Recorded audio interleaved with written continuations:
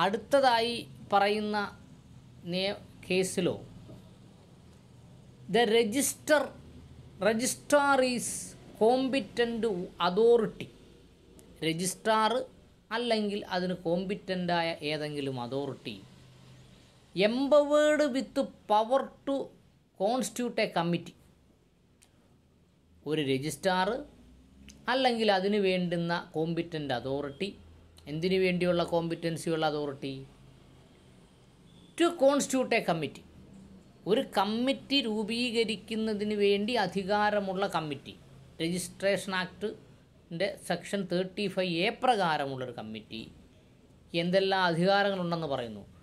Power to constitute committee also include power to constitute committee എന്ന് പറഞ്ഞാൽ it is also include power to alter power to modify power to reconstitute committee in accordance with law power to constitute committee എന്ന് പറഞ്ഞാൽ modify ചെയ്യുന്നതിനും alter ചെയ്യുന്നതിനും reconstitute ചെയ്യുന്നതിനുമെല്ലാം അധികാരമുണ്ട്. എങ്ങനെ? നിയമത്തിനകത്ത് നിന്നുകൊണ്ട് കമ്മിറ്റിയെ ഓൾട്ടർ ചെയ്യുന്നതിനോ കമ്മിറ്റിയെ മോഡിഫൈ ചെയ്യുന്നതിനോ കമ്മിറ്റിയെ റീകോൺസ്റ്റിറ്റ്യൂട്ട് ചെയ്യുന്നതിനോ അധികാരമുണ്ട്.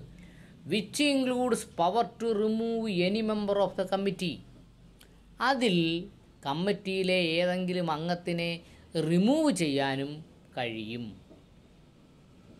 Which includes power to remove any members of the committee who is not entitled to constitute or liable to ousted just and valid reason just and valid reason ഇല്ലാതെ അങ്ങനെ ഒരാളെ include ചെയ്യുകയോ remove ചെയ്യുകയോ modify ചെയ്യുകയോ ചെയ്താൽ it is outer and erroneous അത് നിയമത്തിൽ നിലനിൽക്കുന്നല്ല അത് എറോണിയസ് ആണ് എന്ന് ബഹുമാനപ്പെട്ട കോടതി